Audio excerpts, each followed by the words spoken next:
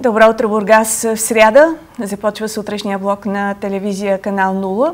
Облачно е навън и за днес синоптиците предвиждат разваляне на времето, напълно преобръщане и от тези летни жеги, с които бяхме сполетени през последните дни. Температурите да паднат двойно. Жълти и оранжеви кодове са обявени за голяма част от страната. Бургас попада сред жълтите кодове за силен вятър обаче. Иначе последно при нас ще се развали времето.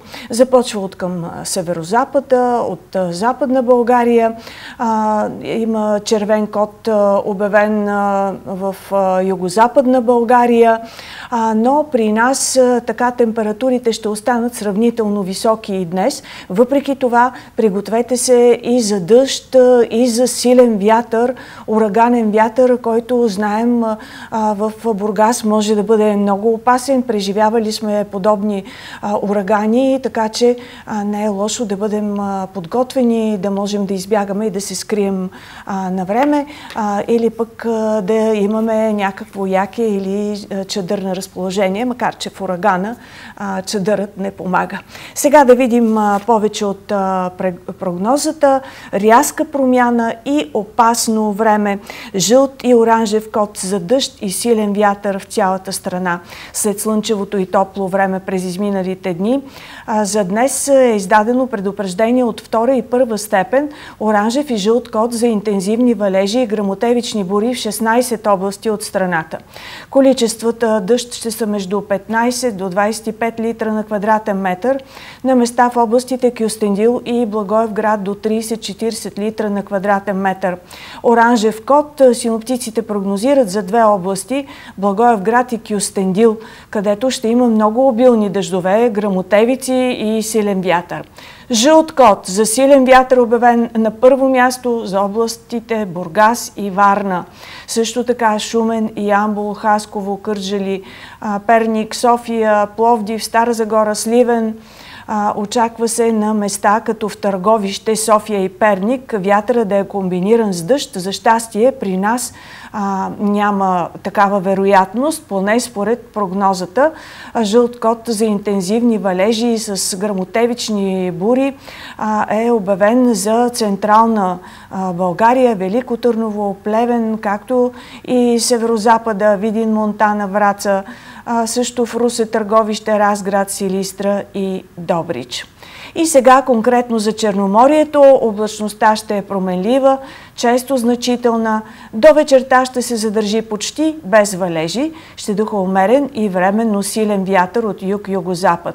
Ще се задържи топло с максимални температури 24 до 27 градуса. Температурата на морската вода е 16 градуса, вълнението на морето 3-4 бала.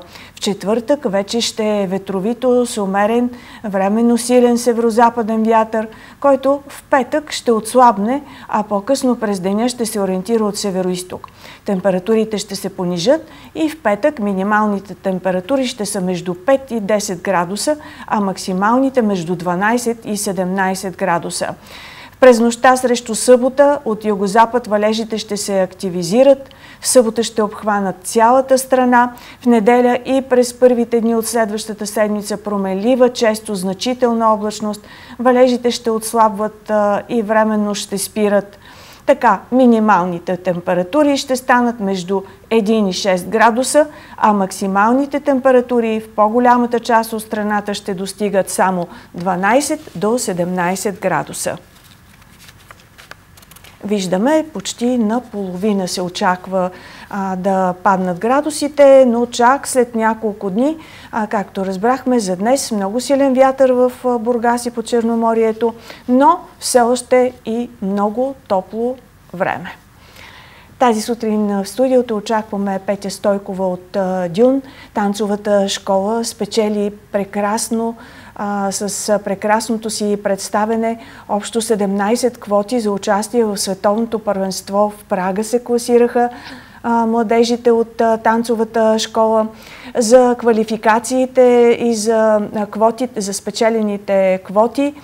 Ще ни разкаже художествения ръководител на танцовата школа Петя Стойкова малко по-късно в сутрешния блок.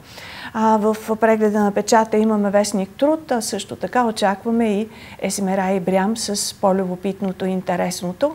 Сега започвам с новините.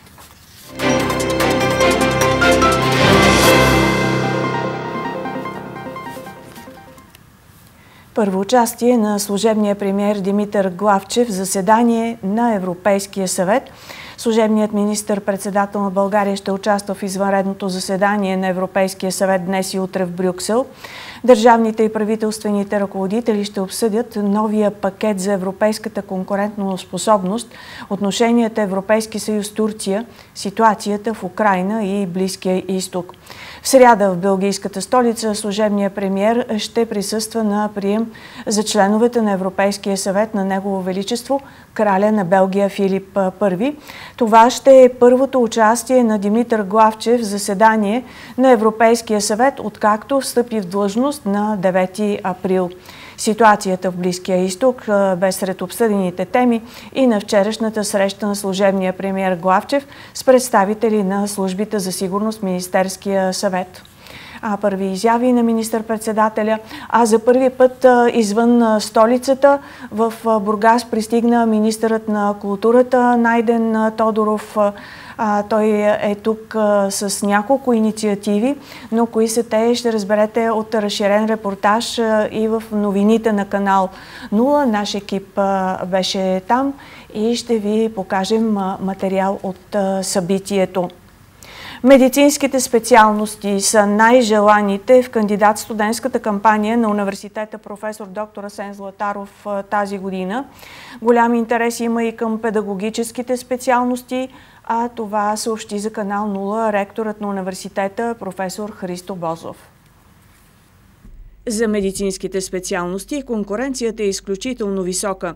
Най-често за едно място кандидатстват по 20-25 души, съобщи ректорът професор Христо Бозов. Минахме първите пробни изпити, които са за специалността медицина, но а, в по-голямата си част кандидатстването ще става по документи с оценката от матурите, така че всеки, който желая да кандидатства за нашите над 140 специалности, след придобиване на оценка от матурите, може да се запише и да кандидатства по нашите бакалавърски и магистърски програми.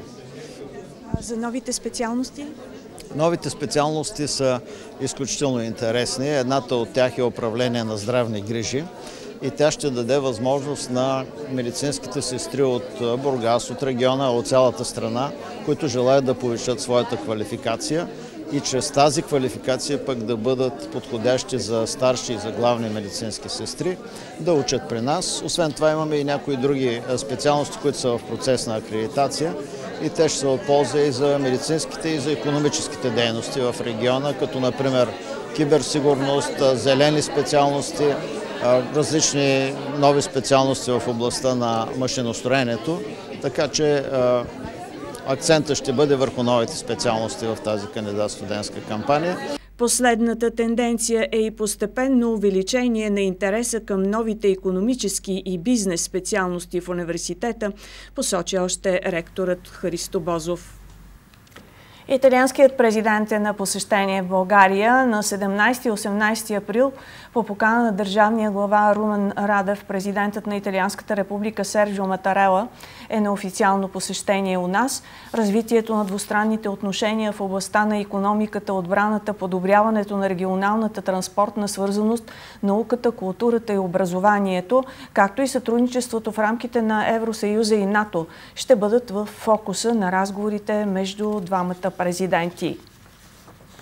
Най-наситеният от към трафик и инциденти летен период и през тази година ще премине без по основните пътища да бъдат подложени на задължителен контрол – на скоростта. А това се разбира от Агенция Пътна инфраструктура. В отговор на това има ли готовност тол камерите да започнат да измерват средната скорост на автомобилите. Идеята беше анонсирана още през миналата година, като последният обещан срок за въвеждането на контрола с тол камери беше март тази година, но оказва се тол камерите и това лято няма да работят като контрол на скоростта. Камерите на АПИ ще започнат да налагат глоби на база превишена скорост, когато приключи процесът по сертифициране, надграждане на системата с необходимите функционалности и са прияти необходимите законодателни промени, уточниха от агенцията. Националното тол управление разполага с 50 мобилни и 295 стационарни камери, монтирани на магистрали, първокласни и второкласни пътища. А тясната им задача е да отчитат дали преминаващите коли имат винет сметка. За сравнение, пътна полиция разчита на едва малко над 200 подвижни и неподвижни устройства за контрол на скоростта. Според намерението на властите, всички камери, които регистрират наличието на винетки и платени тол такси, ще трябва да могат да измерват и скоростта.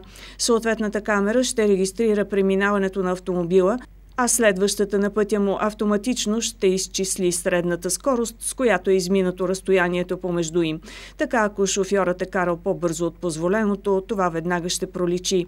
Камерите събират информация за регистрационните номера, дата и час на преминаване, местоположение и технически параметри на превозното средство.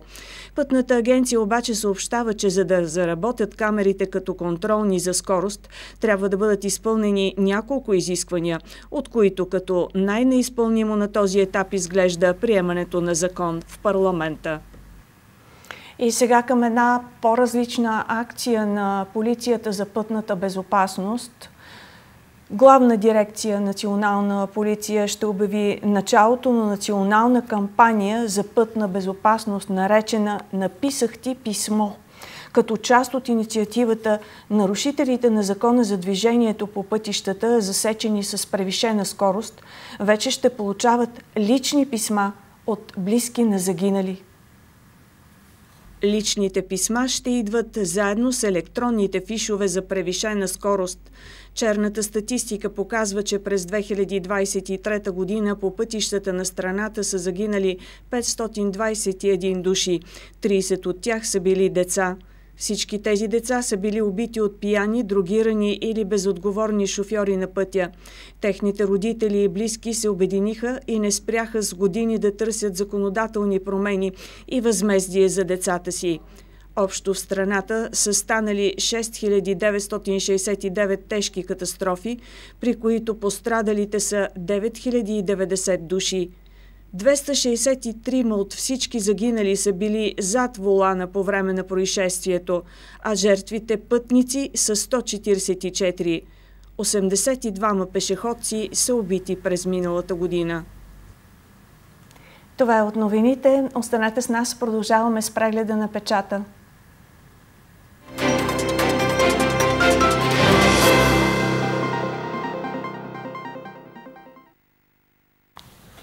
Продължаваме в сутрешния блок с темите от печата. Вестник Труд имаме тази сутрин. Вестник Труд е с водещо заглавие от една тема, за която вече разбрахте и сте информирани от новините на канал 0, от репортаж в новините. Личната карта с чип от 18 скача на 30 лева предлагат 66 на 100 по-висока цена на най-масовия документ с 66% да поскъпне а, издаването на лична карта. Почти тройна тарифа за хората от 50 до 70 годишна възраст, 50% увеличение за инвалидите – Цената на личната карта с чип става 30 лева, увеличението е 66 на 100 и засяга всички пълнолетни българи от 18 до 70 годишна възраст, които до сега са плащали по 18 лева. За хората над 58 годишна възраст вече няма да се издават безсрочни лични карти, а всеки, който е навършил 70 години, ще може да си извади документ с 30 годишна валидност. На страница 2 и 3 може да прочетем още промени в закона за личните документи. На първа страница има една голяма снимка, на която а, виждаме мъж, който изтръгва кръста от гроба на патриарх Неофит. А, така мисля, че добре се вижда и на вашите екрани оскверниха гроба на патриарх Неофит. Мъж изкърти и захвърли кръста от гроба на патриарх Неофит, който се намира под колонадата на столичния митрополитски храм Света Неделя. След това се опита да скъса траурните знамена и некролози. Полицията вече е установила самоличността на извършителя. Това е второто посегателство над гроба. Такова нещо имаше в събота срещу неделя, беше щупен фенера, обясняват оттам. На 21 април в храма ще бъде отслужена за упокойна света литургия и панахида по повод 40 дни от кончината на негово светейшество, патриарх Неофит. А мъжът, който изтръгна кръста и го захвърли, вече е арестуван. А, макар, че всички се питат а, какво ще му сторят. А, това е мъж, а, който живее на улицата. Едва 37 годишен. А, той изглежда наистина а, пълна разруха. А, наистина не се знае а, как а, животът му е протекал, защо той се чувства по този начин, защо е толкова озлобен, но извършва вече няколко посегателства срещу гроба. Имало и вербални нападки срещу свещениците от храма, също от негова страна. Човек, известно е, че човекът живее скитнически живот. Не се знае дали е бездомен. Това, разбира се, ще бъде изяснено, но пак казвам, едва ли ще може да бъде санкциониран по някакъв начин.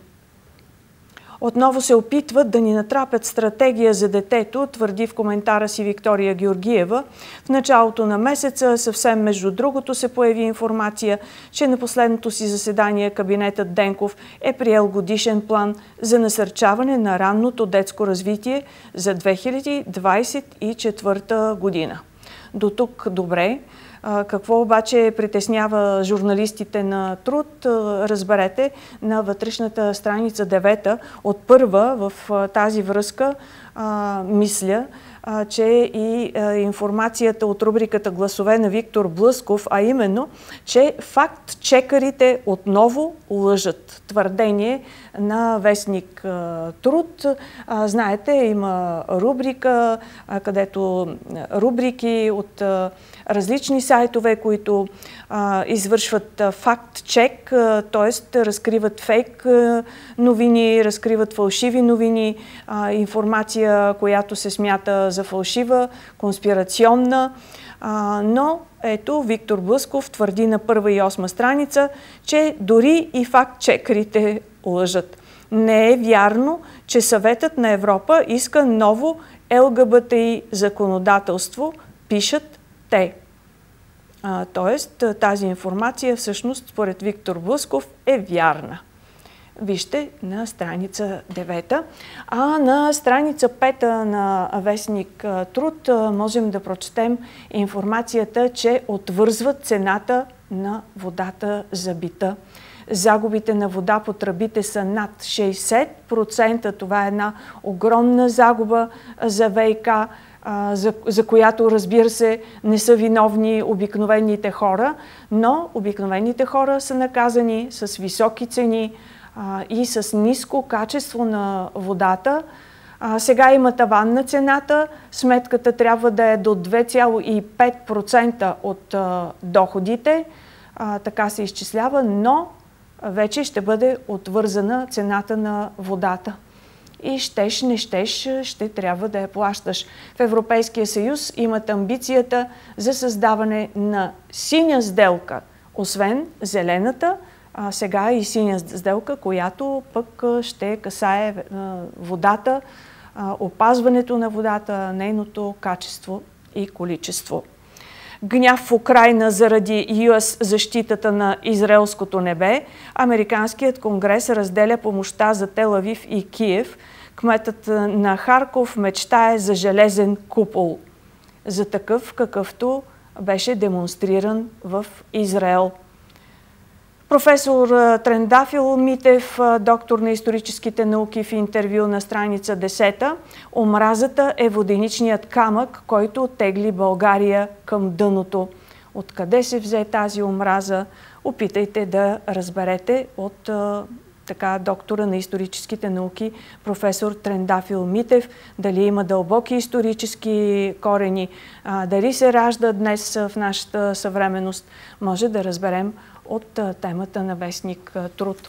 А сега отгръщам на последна страница, за да видим има ли нещо любопитно? Разбира се, както винаги в рубриката а, Силуети, а, интересен гост и това е Джан Яман, един от най-известните турски актьори. А, Джан Яман стана любимец и на българската публика от хитови сериали като Свободен дух и Любов на инат.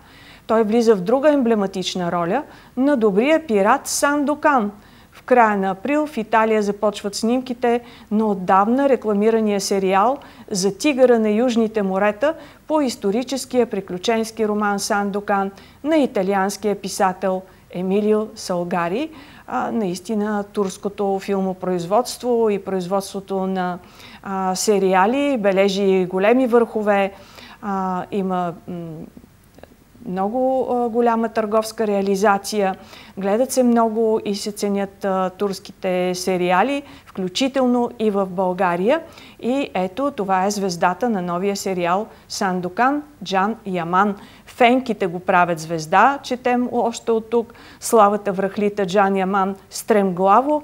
За нула време младият турски актьор се превърна в новия секс символ на Турция, а и не само – Високият му рейтинг се дължи главно на женската аудитория, разбира се, която и без друго е основният консуматор на сериали, като мускулите му дават преднина от 3 четвърти пред актьорското му превъплъщение, колкото и самият той упорито да се съпротивлява срещу подобни мнения.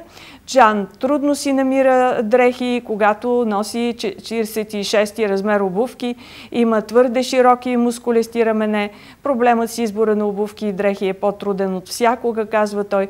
Може би за това Джан предпочита всичко по него да е свободно и да не ограничава движенията му както се вижда и от а, снимката на последна страница на Вестник Труд. Наистина ефектен актьор отново лансират а, в турските сериали.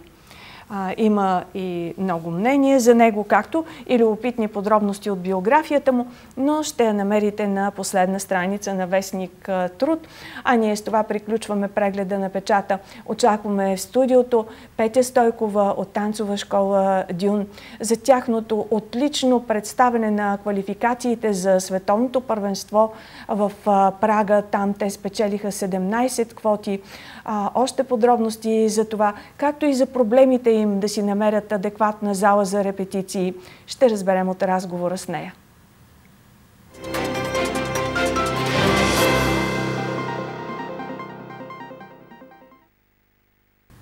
Добро утро, Бургас продължава. Както вече ви съобщих, в студиото тази сутрин е Петя Стойкова, художествен ръководител на танцова школа Дюн. Една школа, която не се нуждае от представене в Бургас, но все пак отново ще говорим а, за историята и за всичко, което се случва там. Добро утро и добре дошла в студиото на Петя. Добро утро. А, Петя, говорим си на ти. Най-напред огромни поздравления за отличното ви представене на квалификациите за световното първенство в а, Прага. А, очакваше ли е лично ти такива високи резултати? Разбира се, че всички сте работили именно за това. Ами, нямах никакви очаквания, защото знам, че нивото е много високо.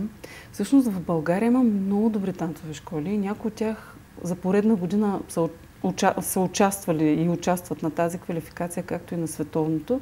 Просто ние за първи път решихме да опитаме и да, да вземем участие в а, квалификациите, евентуално на по-голямото състезание. Мисля, че ние сме една от много добрите школи в България, но просто като нивото беше изключително високо. Изключително. Просто според мен квалификацията си беше като на нивото на световното.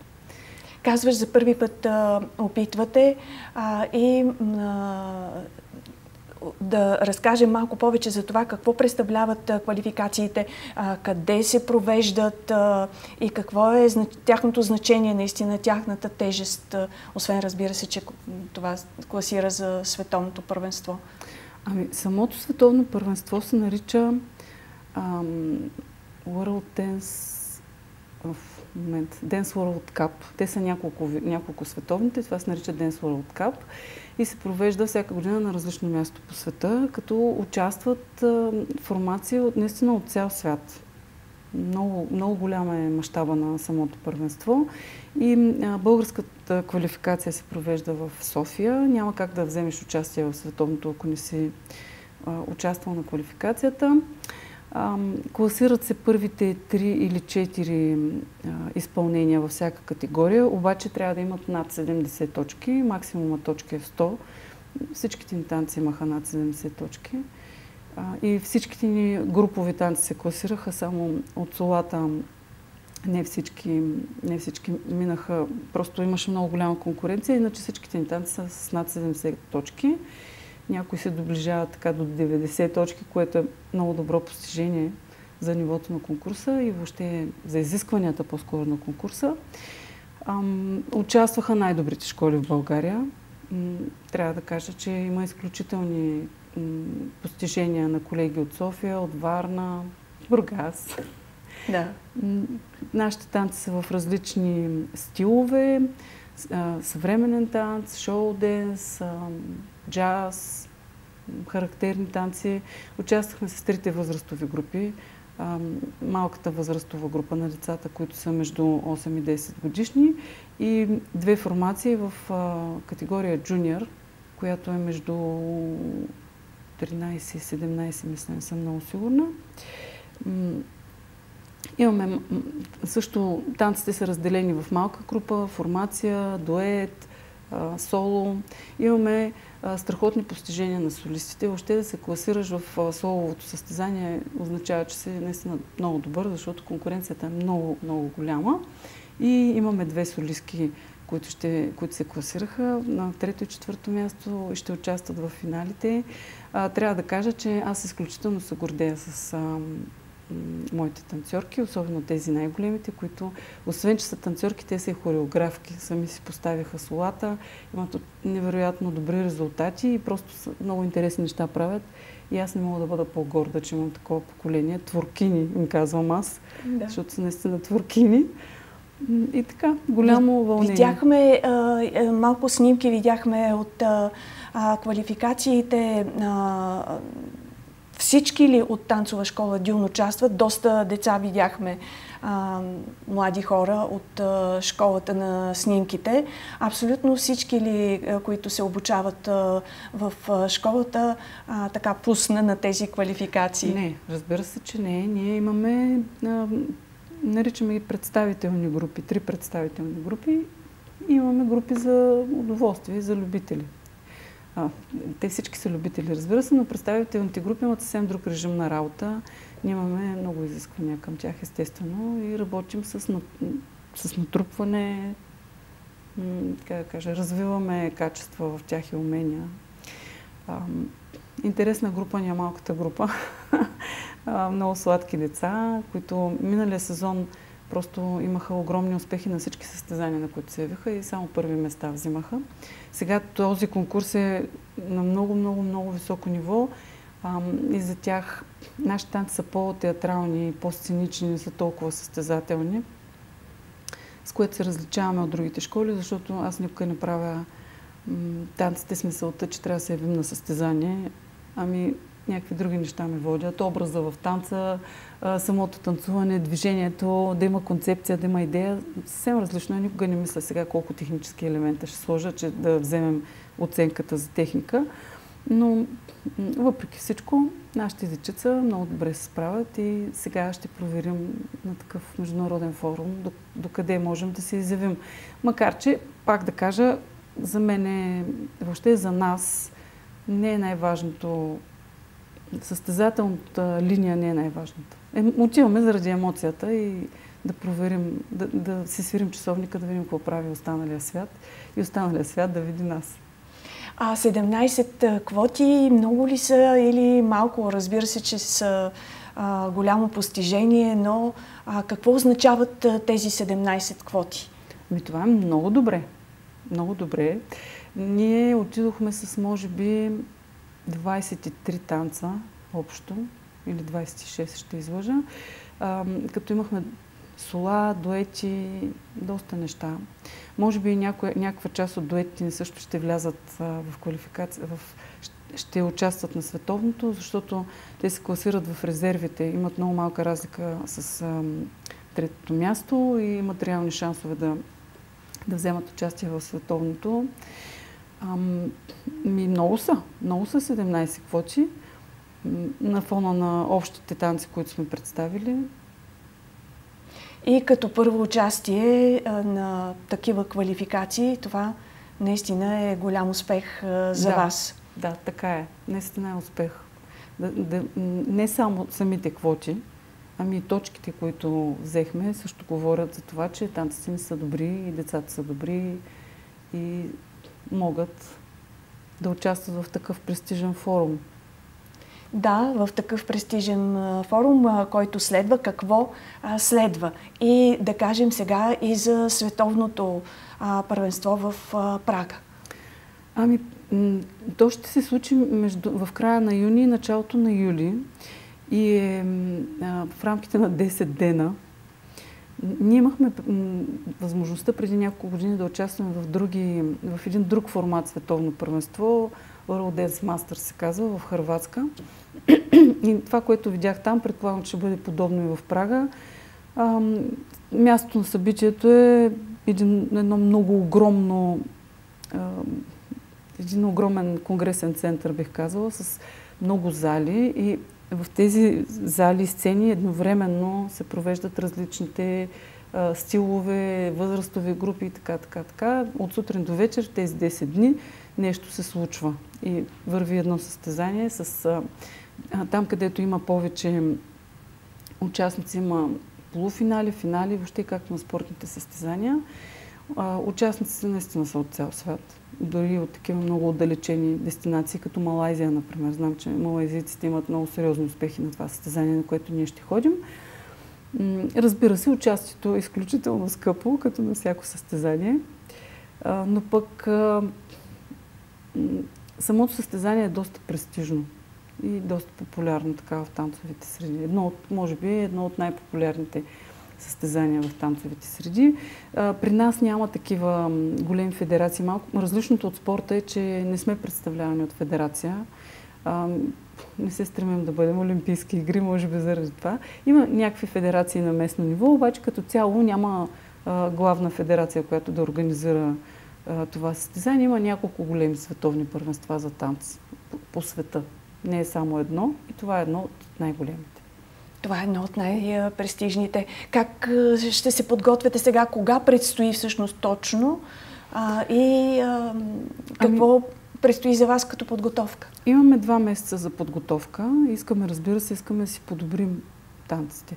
Доколкото е възможно да направим максималното най-добро, на което сме способни за, за това състезание. А, Предстои събиране на, набиране на средства. По някакъв начин ще се опитаме да облегчим децата, защото това са много големи разходи за техните семейства. Организация, пътуване с самолет, Основно неща. на семействата ли разчитате или търсят се, разбира се, спонсори?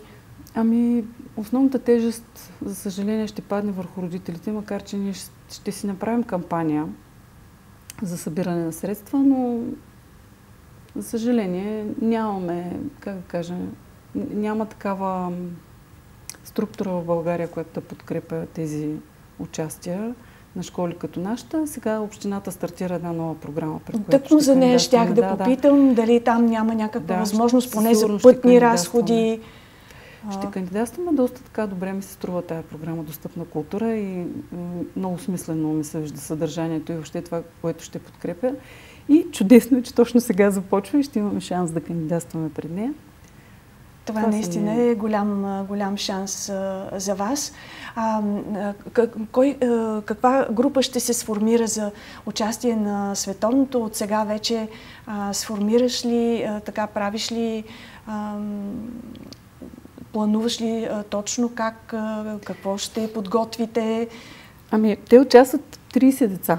В тези три групи участват 30 деца и ние на практика трябва да представим същите танци, които представихме на квалификацията.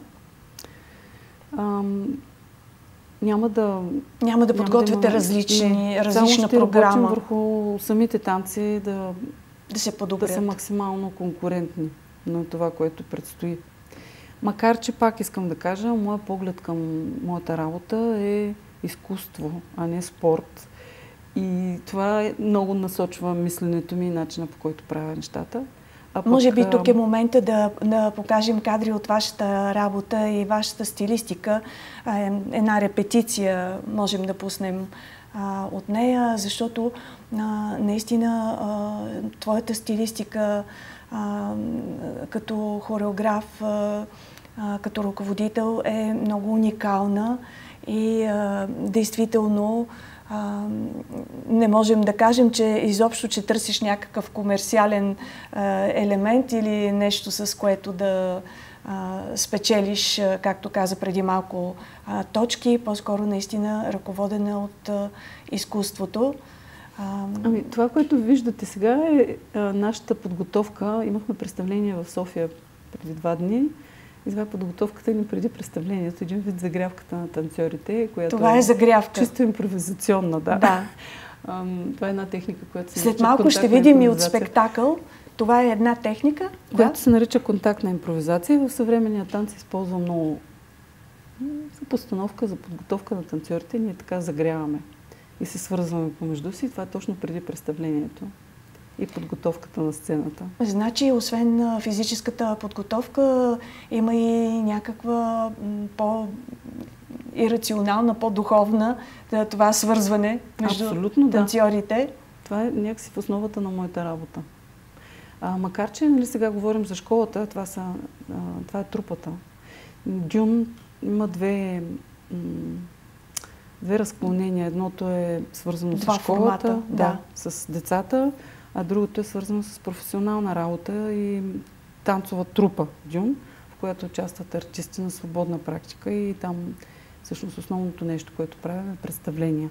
Да, проекти. Да, но до година планираме с школата да, да се фокусираме върху такъв вид а, продукт. Ще направим един спектакъл. Аз отдавна, отдавна планирам това нещо. Никой не остава време, защото все нещо се готвим за някакви състезания или концерти. До година състезанията ще отстъпят малко.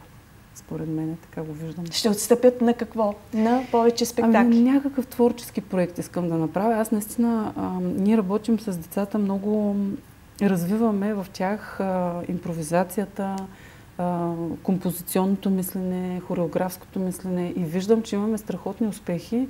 Ето сега имаме случай на състезанието. Едно от нашите дечица, от малките дечица, си забрави солото, обаче то като истински професионалист продължи да танцува, импровизира, освен това импровизира в стилистиката на, на танца, който играе, което за мен е показателно посоката, в която сме развили децата. И на е колко е години? На 8, мисля. На едва на 8 години. Ми, и вече знае какво да прави на сцената, когато си забрави солото. Да. И то абсолютно достойно, а, стилистично в това, което се случва, което е мислене. И за мен тези неща имат огромно значение. И мисля, че до година повече в тази посока ще се развиваме. Преди малко спомена дори, че а, така имаш и някои творци, творкини, а, които сами си създават дори а, хореография а, и върху това ли а, работите наистина да... Да, големите ни момичета, които са на 16, между 15 и 17 годишни, най-голямата ни група, те сами си направиха техните солови изпълнения, които са страхотни просто. Аз не бих могла да им ги направя по-добре. Оригинални са, минават напред в класацията, просто защото това, което представят е абсолютно автентично. Те имат материал, който не е видян никъде, който е измислен от тях. И това е уникално, според мене.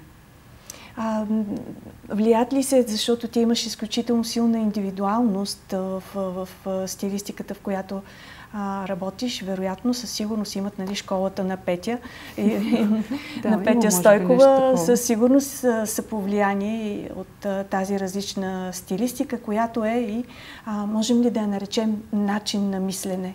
Да, можем. Определено има някаква философия в моята работа.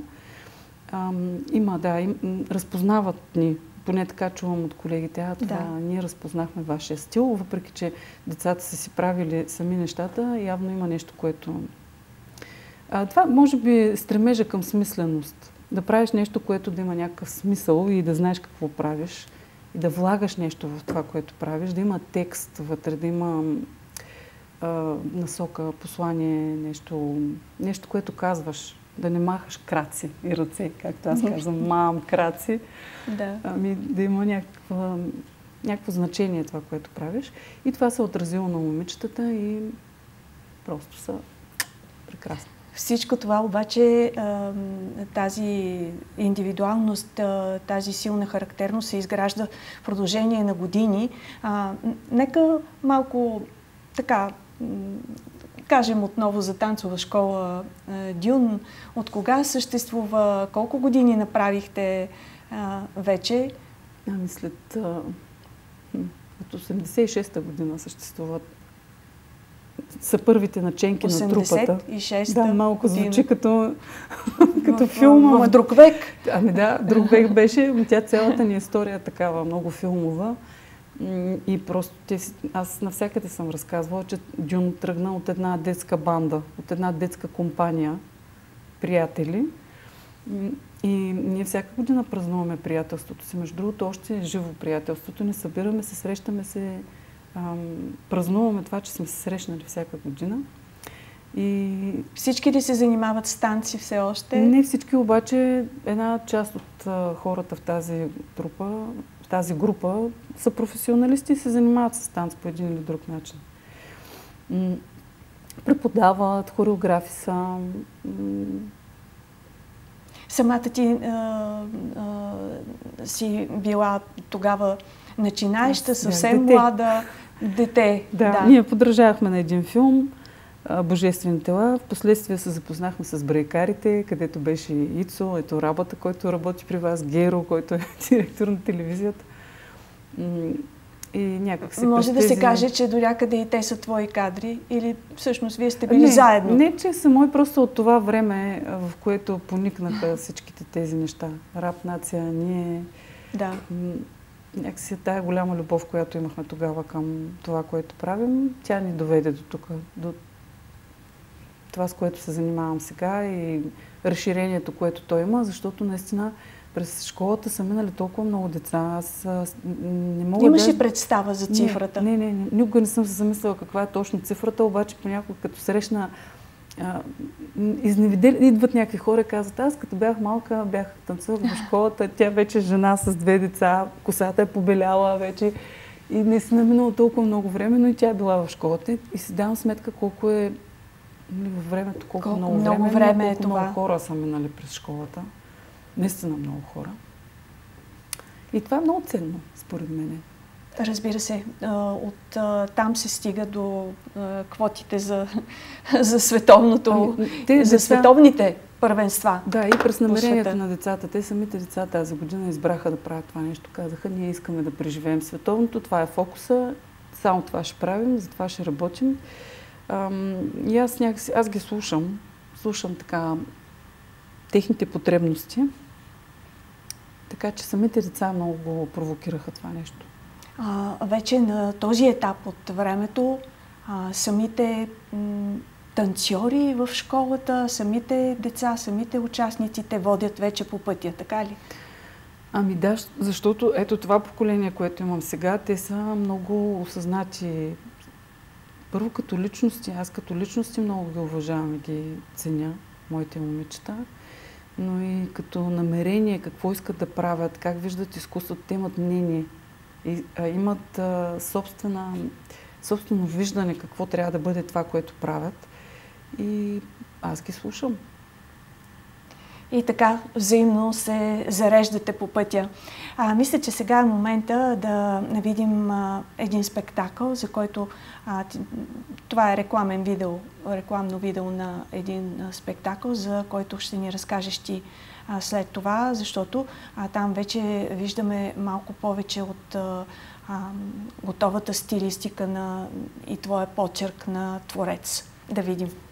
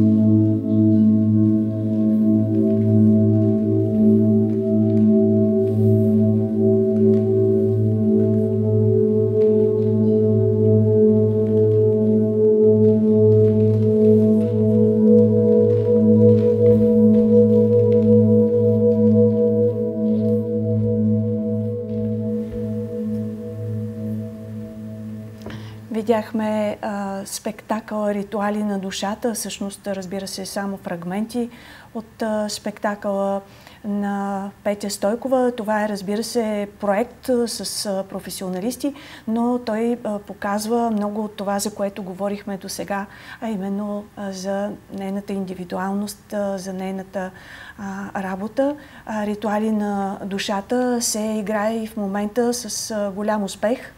Ами да, ние имаме може би на 40 представления, което за България е и за трупа като нашата, която е саморасляк, е много голямо постижение. Освен това имаме една много хубава награда на професионалната общност, даже две награди на професионалната общност. Едната е за оригинална хореография за този спектакъл, а другата е за най-добър е, танцов изпълнител мъж за Радо Радослав Йорданов, който играе така соловата част в представлението. А, сега имаме ново представление Небе земя, което започва вече да се играе.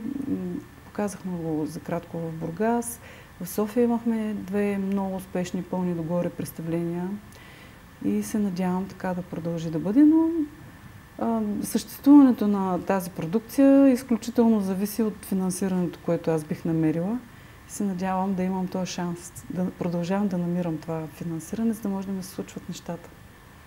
А, разбира се, всичко това, което трябва да се случва и може да се случва, зависи от много фактори.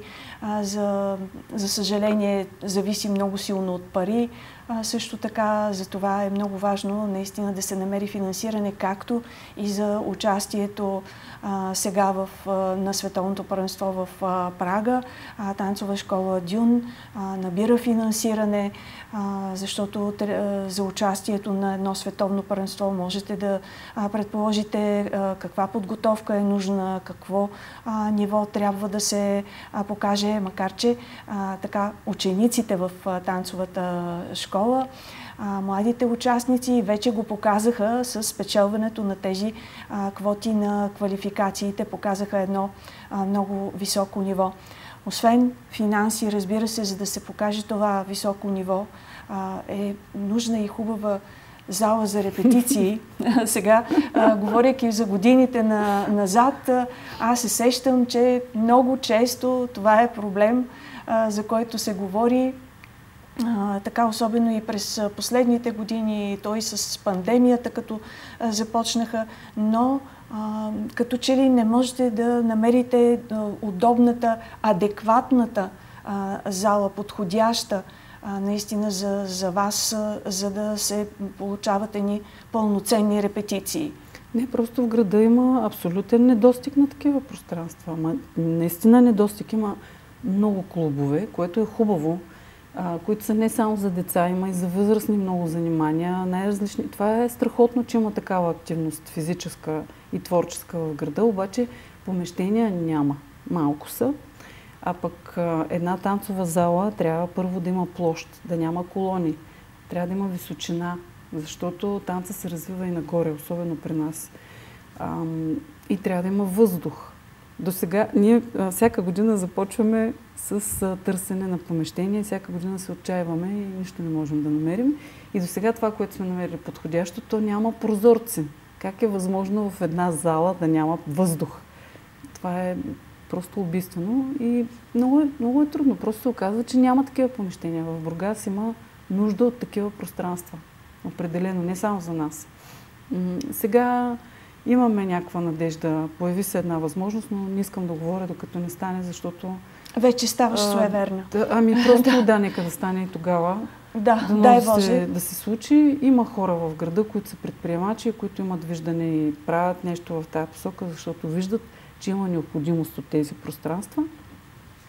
Надявам се все повече да се развива това, което тия хора правят и да има такива места, където да се случват такива занятия нормално, защото ние сега имаме много малко часове за това, което трябва да правим, особено пък сега за подготовка. Точно по тази причина, че делите залата, така ли? Еми не, ние работим делите в Младежкия дом. Младежкия дом е много хубаво място. Живота ми е минал там, аз обичам това място. Обаче не сме само ние, там има много школи. Да. И всяка школа има нужда от много време в залата. Особено пък ние, като работим с натрупване, ние не може само сълта неделя да репетираме. Трябва да имаме всеки ден достъп до зала. Трябва да си имаме наша зала. Обаче. И с това трудно. непрекъснато а, търсене, всъщност а, няма ли а, някои зали, които наистина са подходящи, които отговарят а, за вас, наистина трябва за, за една а, танцова зала а, трябват много определени изисквания ами да, да отговаря и Първо това и после трябва да е възможно да я плащаме.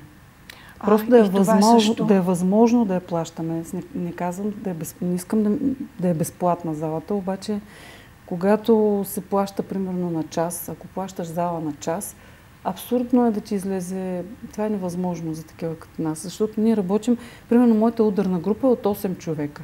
Ама тези 8 човека те, те са инвестиция на време, на енергия, на всичко. И толкова време, колкото трябва да работя с тях, аз не мога да платя това найем на част. Те не могат да го платят, родителите им не могат да го платят.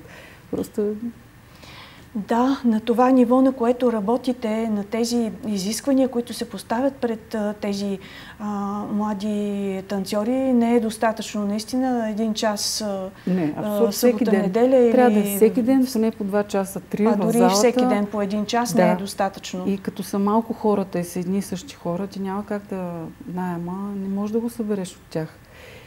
Просто когато се работи с натрупване, според мен е необходимо а, да има подкрепа от държавата, от общината, от обществото, ако щеш, за да може това да ни излиза през носа на участниците и на самите. И най-вероятно трябва и един по-дългосрочен договор, нещо, което наистина да ви даде сигурност и спокойствие за повече време, а не постоянно да се връщате към този проблем – това не е ли възможно или е твърде... Ако ти кажа, вече съм се примирила и може би защото се примирих, че може и нищо да не стане, може би заради това и се появи някаква възможност да видим дали ще се случи.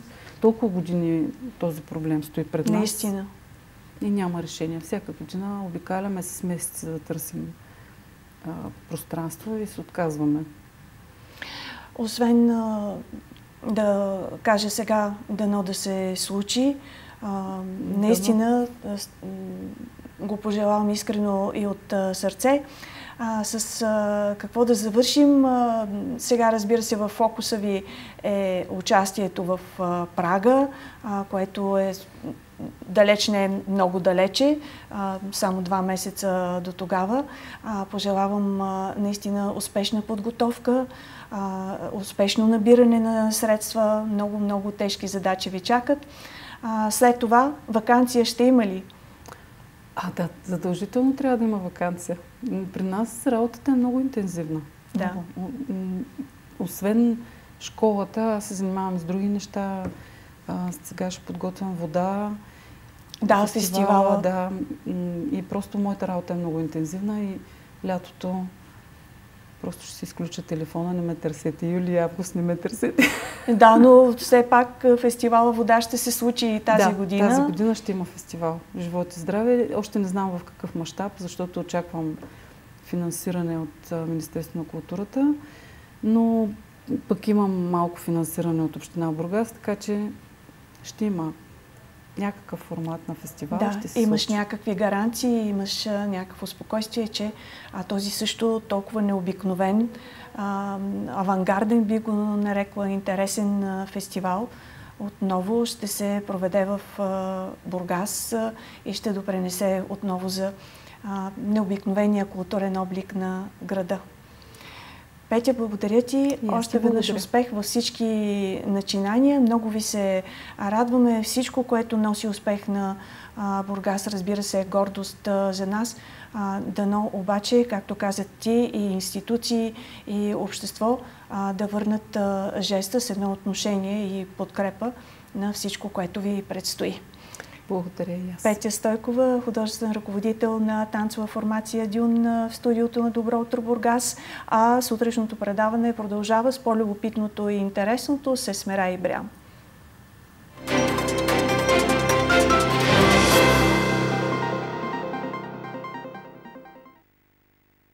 Добро утро, Бургас продължава. Есмера Ибрям вече е в студиото с спорта и с по-любопитното и интересното. Есмера, здравей! Започваме с футболен клуб Нефтохимик, които разгромиха Странджа Агрокорн с култовия резултат 7 на 0. Да, зелените буквално разгромиха Сранджа Агрокорн от Средеца 7 на 0 на собствения си стадион в квартал Изгрев, като Нефтохимик доминира през целия матч, като гостите много рядко минаваха в половината на съперника. Голата сметка откри Илчев още в петта минута с гол с глава. Следващите три гола паднаха в рамките на 5 минути между 25-та и 30-та. Първо роденият през 2007 година Денис Токмак вкара след центриране на Исмаилов. Слабо се разписа с глава след корнера. Атанасов кара за 4 на 0 отново след удар с глава. При този резултат завърши първото по време. През втората част старши треньорът Станислав Жеков направи смени, като на терена се появиха няколко от по-младите футболисти в отбора и някои от които са възстановени след контузия боледувани играчи. Михаил Мирошник, който пропусна началото на сезона, се завърна успешно по официалните матчове с два гола през втората част. Още един гол отбеляза и Токмак и така среща завърши с разгромното 7 на 0.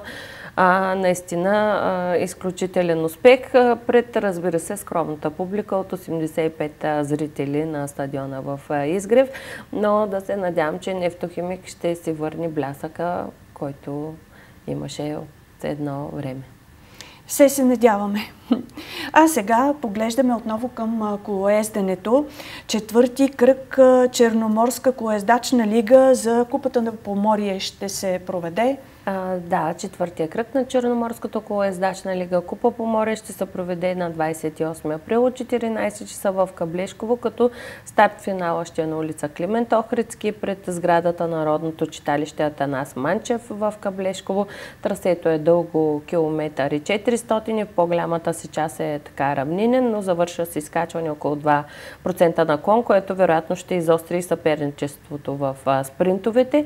Този кръг на Черноморската колоездачна сегашна лига пък на Купа по Морие ще се проведе в четири възрастови групи. Момчета, младша и старша възраст и момичета, младша и старша възраст. В преварата ще влязат състезатели от под всички колоездачни центрове в страната.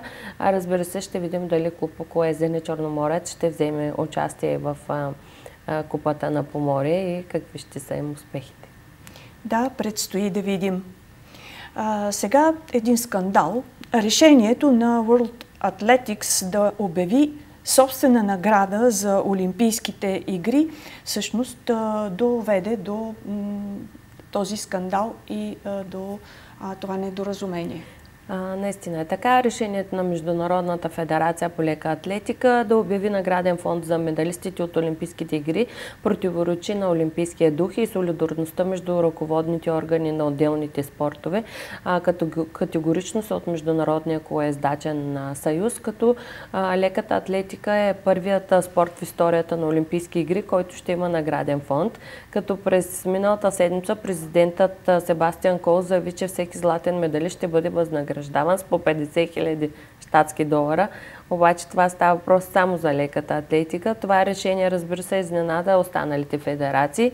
Наистина вярваме, че това противоречи на Олимпийския дух. Това нещо не е било дискутирано с никога, а трябваше да бъде. Просто беше обявено да следваш Олимпийски дух. Това значи да споделяш с възможно най-много хора, а не да даваш пари само на най-добрите. Това заяви президентът Давид Лапартиен, който е който е цитиран от агенция Reuters.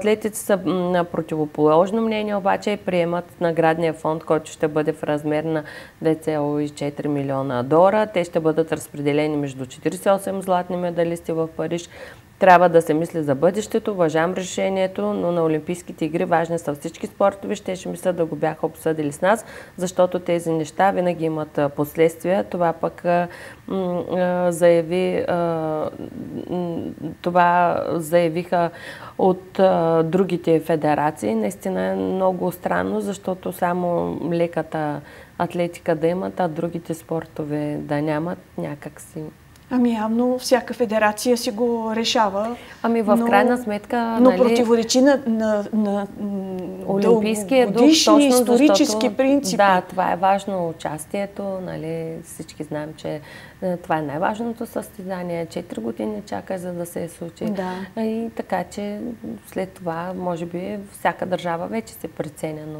само да наградиш лекоатлетите, да, верно, че е царицата на спортовете, но в крайна сметка не е окей Нищо okay вече не е такова, каквото беше, каквото е. А, явно парите наблизат и там, и на Олимпиадата, и там започват да стават определящи, определящ стимул, а, определящи за мотивацията на спортистите. Да, със сигурност падат много рекорди, доста атрактивни. Знаем а, всичките така с изключение на хвърлянията, хвърлянията, да кажем, но пък тези спринтове, беговите дисциплини, всичко, което е така доста интересно, но пък пак казвам, някакси не е честно спрямо останалите. Или да, за всички ще медалисти видим какво ще да има, случи. или за никой. Ами, може би и другите федерации ще последват този пример и всъщност Олимпиадата вече а, ще бъде нещо изключително да, различно. и там ако стане нещо. платено, значи просто... Съвсем, съвсем а, различно нещо се превръща Олимпиадата. А сега поглеждаме към нещо извън спорта. Един интересен обичай в Каталуния. А, сега ще видим и снимката, защото наистина е много интересна. А, тя е в, в а, Испания. Нека да я погледнем само с а, снимка на стена, на която има столове.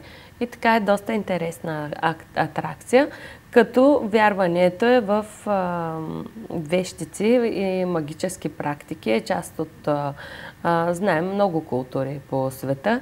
А, само обаче да видим също какво се случва, дали може да я покажем.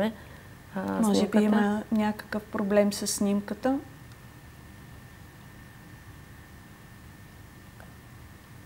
Ако имаме проблем с снимката, може би да продължим нататък. Явно имаме проблем с тази снимка и за това ще продължим с друг интересен случай. Един изключително интересен човек, човекът мозък наречен е той и се казва Даниел Тамер. Една от неговите така особености е, че той свободно говори 11 езика. Това е наистина много интересно. Човекът мозък британцът Даниел Тамер знае 11 езика, като той възпроизвежда 22 514 знака след запетаята на числото Пи. Така влиза в книгата за рекордите на Гинес. Това е Себастиан Кол, който преди малко видяхме в реалите за леката атлетика. В реалити шоуто пък изумява всички, като 7 дни научава исландски. Истината е, че Даниел има феноменални способности. Те обаче са свързани с рядка форма на аутизъм, наречена синдром на малкия професор или научно казано той е синестезик. Хората като него имат умствения капацитет а, да запаметяват цифри, факти и всевъзможни други данни, при това с невероятна прецизност. Даниел ни общува много, недостъпни са му някои от най-прости неща, например да различава ляво и дясно.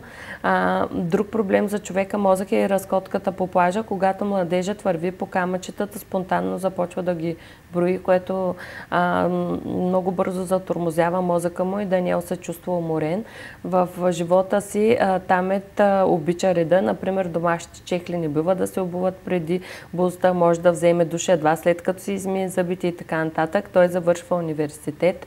А, не завършва всъщност университета, работи в дома си, пише книги, учи дистанционно езици и обучава желащи на прости навици за изчисление, като учените смятат, че това, което става в главата на Даниел, може да бъде ключ към разгадаването на аутизма по принцип и да се намери решение на тази нелека болест. Но ето пак казвам, изключително да не можеш да различиш ляво от дясно, пък да възпроизвеждат 22 514 знака след запетаята на числото. И да говориш 11, 11 езика. езика 7 да, за 7 дни да научиш исландски съвсем свободно. Това наистина си е феномен. Да, наистина е феномен, но един доста тежък за самия за самата личност а, феномен, а, защото той а, наистина има особености, от да, които страда. Да, в ежедневието си така свободно не може да се справя, но пък в крайна сметка мозъка му е създаден за друго.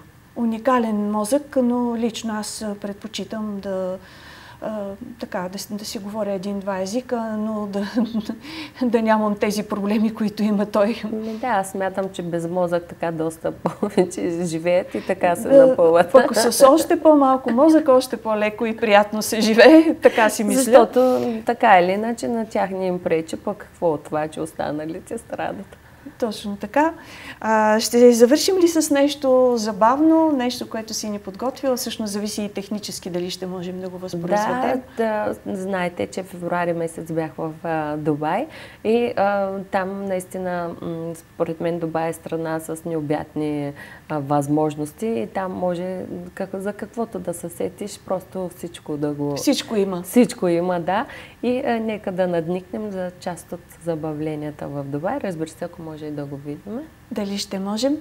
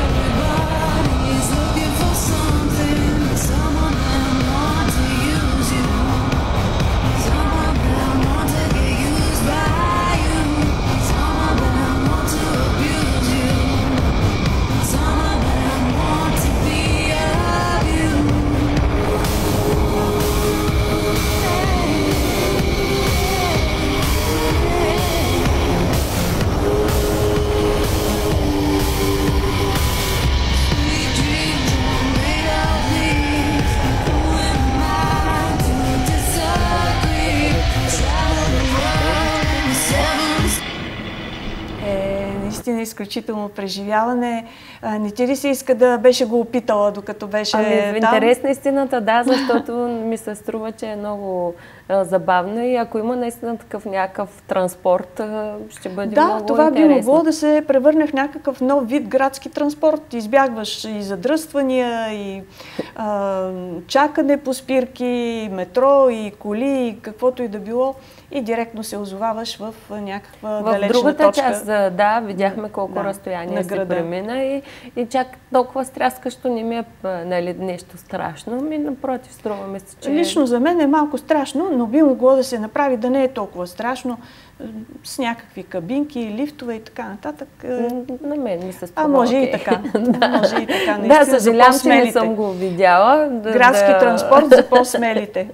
Може наистина... следващия път да го опиташ. Да, Това беше от интересно. Дубай. А в крайна сметка това беше всичко от нас в сутрешния блок. Пожелаваме ви хубав, все още топъл и сравнително стабилен ден, въпреки че се предвиждат много силни ветрове. Развалянето на времето обаче все още предстои и днес ще остане сравнително топло. От нас довиждане до утре в 8.